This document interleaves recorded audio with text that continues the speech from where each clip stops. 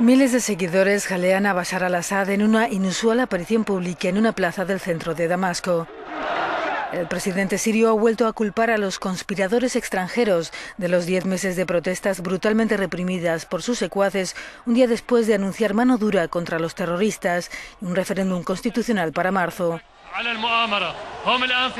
Vamos a vencer la conspiración. Ahora ellos se encuentran en la fase final del complot. Vamos a hacer que sea su fin y el fin de sus planes.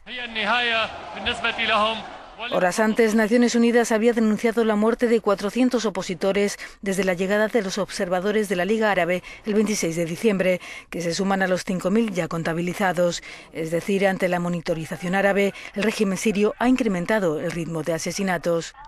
Uno de esos observadores ha abandonado el país, asegurando que su equipo no actúa de forma independiente e impotente ante el horror del que ha sido testigo.